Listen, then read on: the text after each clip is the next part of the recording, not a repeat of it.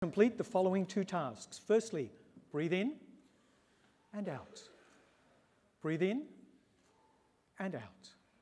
Breathe in and out. That was task one.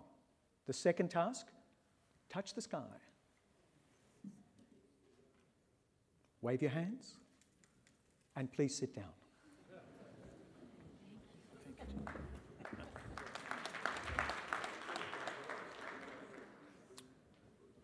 So, my job is to finish off this session and uh, talk a little about Safety 1 and Safety 2 and the resilience of healthcare. So, I'd like to do that now. So, I'm Jeffrey Braithwaite and I run the Australian Institute of Health Innovation. And we're about 150 people who do health systems research. My joke is that we don't splice genes or try and cure cancer, we do something much more complex than that. We try and research the health system, understand how it works, and then work out ways with that knowledge to try and improve the care delivered to patients. That, I think, is a mission statement that we all share. We're trying to improve the way care is delivered to patients. And that's our mission, and you will have your mission. So there's three of us who run the Institute. We're interested in e-health and big data and how care is delivered to patients and safety of patients. So you should start maybe a talk, I don't know, with reference to William Shakespeare or some other person in your country who said something really important that encapsulates what you want to achieve. Here's my starting point. After decades of improving the healthcare system, patients still receive care that's highly variable, frequently inappropriate, and too often unsafe. Who agrees with that statement? Many people in the audience, perhaps all of us do, but perhaps we didn't want to put our hands up. Now, that is the statement after we've spent concerted effort for maybe 30 years, well, the entire history of medicine, but maybe 30 years trying to keep patients safe. And we can still agree, many of us, with a statement like that. That tells us something immediately that the problem we are trying to solve is not a trivial problem. It's not a problem of just saying we need more leadership, we need more teamwork. It's much more a wicked problem than that. And many speakers from Lord Darzi and Victor and other people have indicated that very eloquently this morning. So we're all grappling with this hugely wicked and difficult problem. You can summarize it many ways, and people have already. Here's my summary about 60% of care is delivered in line with level one evidence or consensus based guidelines.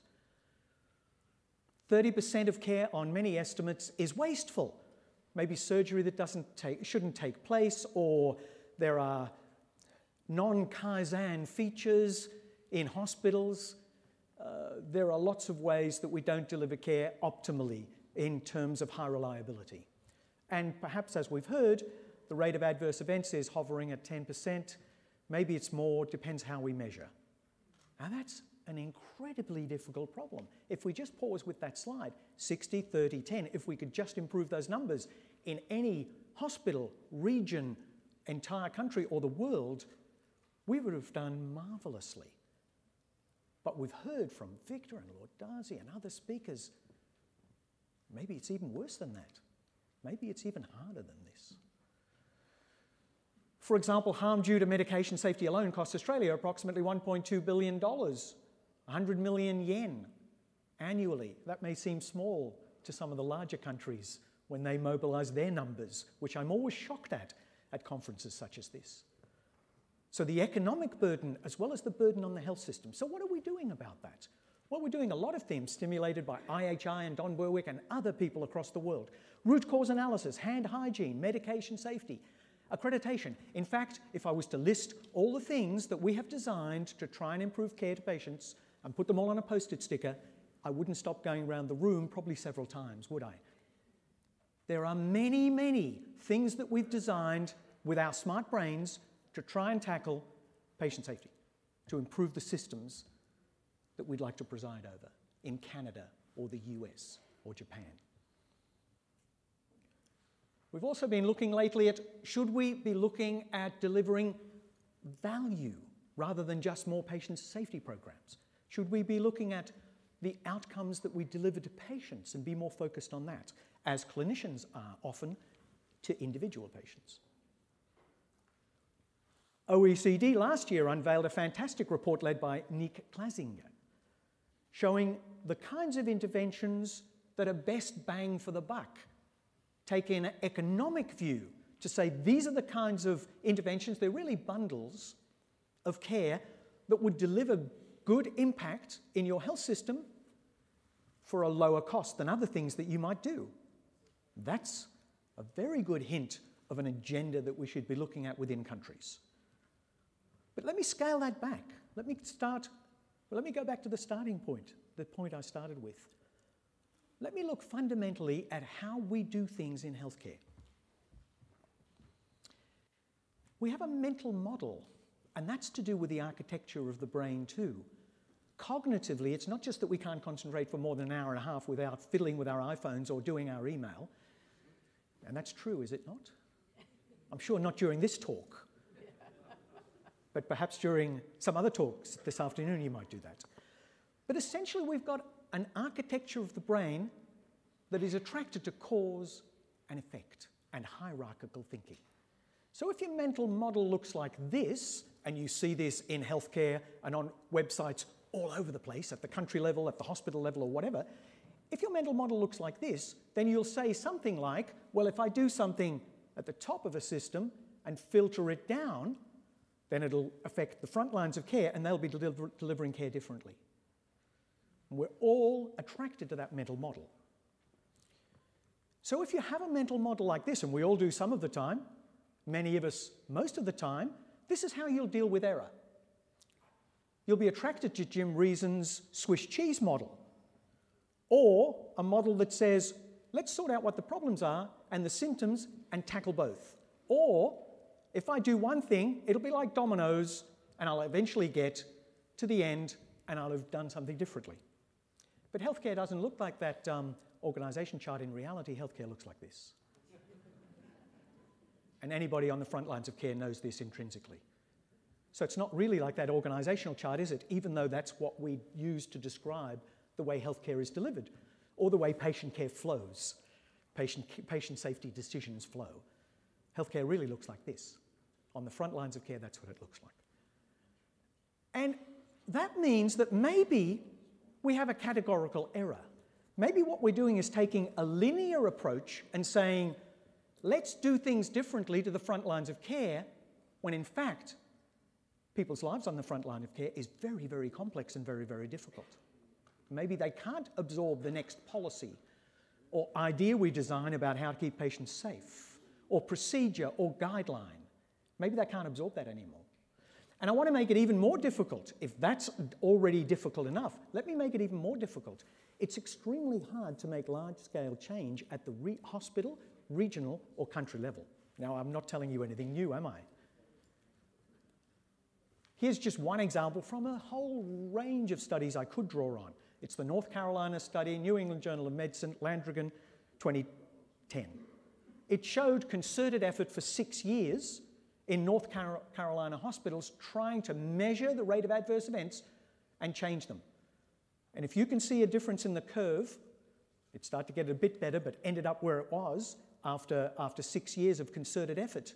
And we can show many, many studies like that. So doing large scale systems change is extremely difficult. So we've been thinking, me and a number of colleagues across the world um, have been thinking, well, can we think of patient safety differently? Can we do patient safety differently from the way we've been doing it? And that's a very hard thing to do because everyone's trapped in a paradigm which we've called Safety One. We're also looking at is there a difference in thinking between those who do what we've called work as imagined, imagining how care occurs on the front lines of care, compared to people remote from the front lines of care who are trying to affect change on it? And is there a difference in those doing work as imagined and those doing work on the clinical front lines? So let me just take those two examples in the limited time I have. Rates of harm seem to have flatlined at about 10%. Depends how you measure it. If you use the global trigger tool, and we've published a systematic review on this, then you'll find perhaps more harm or more adverse events or more near misses. But let's say it's 10%. And so let's say we need new ideas because it's remained 10% for 30 years. That's not to say healthcare isn't doing well, by the way. We can do many, many things to patients uh, than we could 30 years ago, and we treat many more aged and sicker patients. However, all I'm saying is the rates that I, of change, the rates of, of uh, uh, adverse events, the rates of harm, seems to have flatlined across 30 years. So, we've been looking at the natural characteristics of healthcare on the front lines of care. And it's highly resilient in most places. That is, healthcare adjusts its functioning. Clinicians in teams, in microsystems, adjust their functioning before, during, and after changes and disturbances, whether they be good ones or bad ones, and sustain operations under expected or unexpected conditions. What I'm saying is, we've focused on the 10% of harm and errors for 30 years, but perhaps what we've under recognized is the 90% of cases where there is no harm, where care is delivered maybe not as well as we'd like, maybe fantastically, but there's no harm attaching to that care. And that's an interesting problem. You see, I think the amazing thing about healthcare isn't that it produces harm in 10% of cases. I think an equally amazing fact about healthcare is that in a system this complex, as shown by the swirly diagram, or represented by the swirly diagram I showed, produces safe care in 90% of cases. That's unbelievable. And yet, it's relatively under-examined. It's relatively not researched. So that's very interesting. So, we coined these terms, safety one and safety two, me and some other people. Bob Wears in Florida, Erik Hollnagel in, uh, in uh, Denmark, who's really the, uh, the grandfather of this. And safety one and safety two says, what we've been doing now is largely under a safety one umbrella. Let's try and reduce harm to patients. Safety 2 says, what about the care that gets delivered that has no harm attached to it? Shouldn't we understand that as well?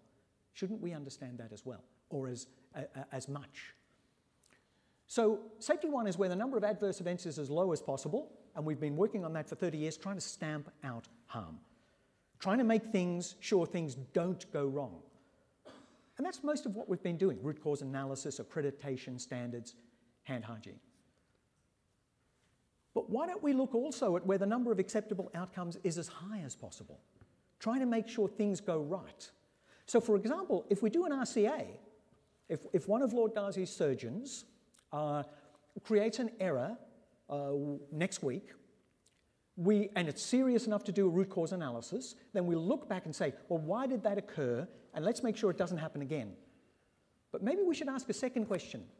How many times did Lord Darzi's surgeon do that procedure and that exact same, more or less, process before and it went right?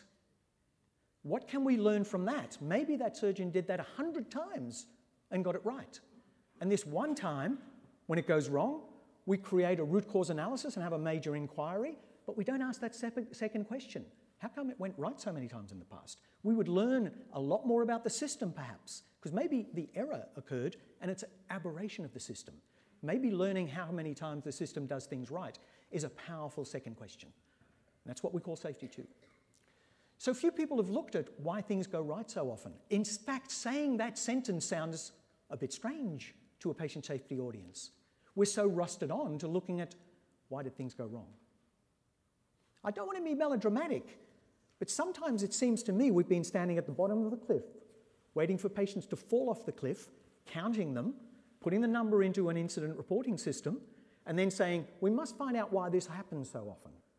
We haven't been on top of the cliff saying, can we prevent the patients from falling in the first place as much as I would like?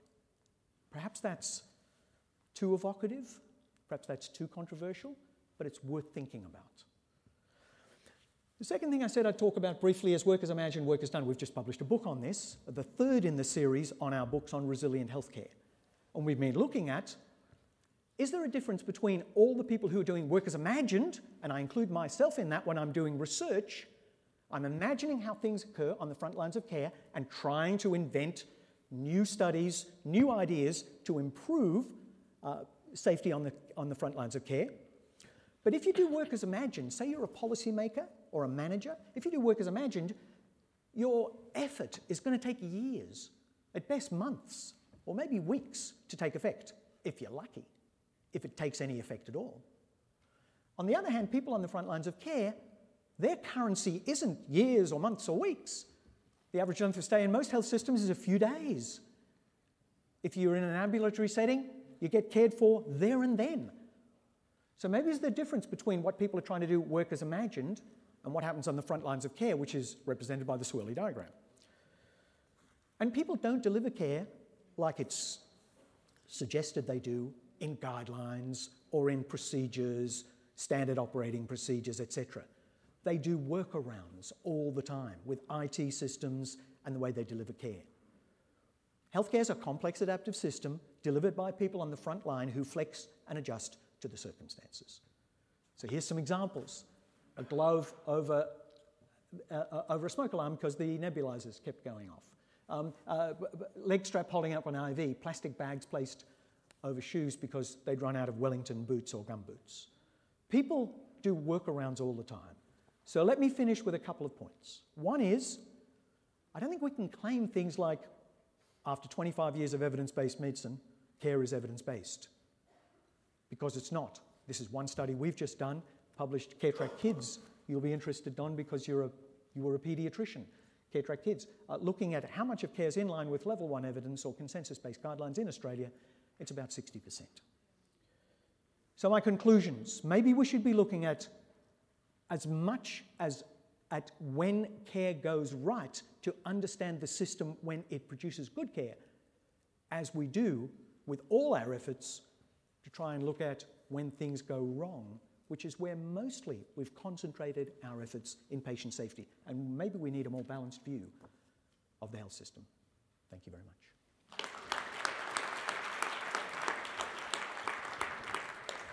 Thank you, Jeffrey. Could we ask the panelists to join us up here on stage now?